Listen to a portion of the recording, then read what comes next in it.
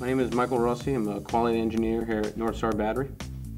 Northstar Battery produces uh, valve-regulated lead-acid batteries for the use of uh, telecommunications, cell phone towers, and engine start uh, uses. Some of our larger customers are Verizon Wireless, uh, Ericsson, Huawei, uh, ZTE, uh, Batteries Plus, Exide. What we manufacture here in Springfield is everything from the beginning of the process to the end. From we cast our own grid, we, we paste our own plates, we assemble the battery here, we put it through all the quality testing in-house, and then uh, we ship it out at the end. To be a quality engineer in Northstar Battery, we, uh, it's a lot of data analysis and Six Sigma projects.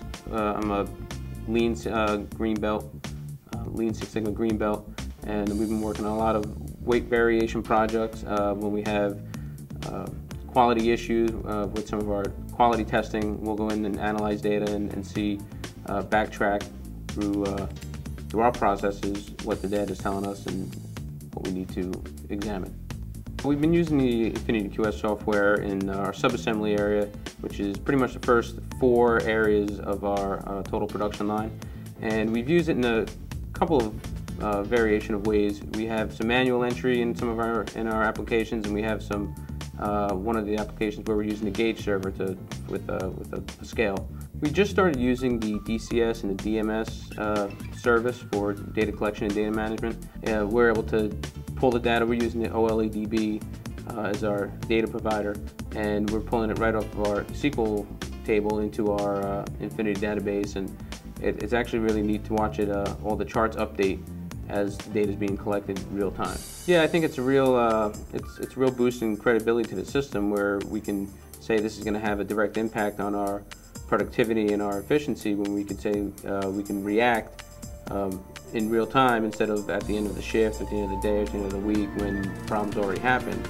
We can make adjustments to the uh, to the system after one or two failed data uh, failed data points, as opposed to day or a week later. I feel like uh, electronic SPC is is the new technology. I mean, uh, SPC has been out there for a long time, and people have been plotting control charts on paper with a pencil for a long time, and uh, once you start getting into the electronic SPC and the real-time data and uh, the alarm monitoring and the event recording and everything else that goes along with Infinity QS, it is a good a, a good system in place, and they have a lot of uh, a lot of neat tools um, embedded in the software that I feel like moving forward in, in my career I'll, I'll be able to benefit from.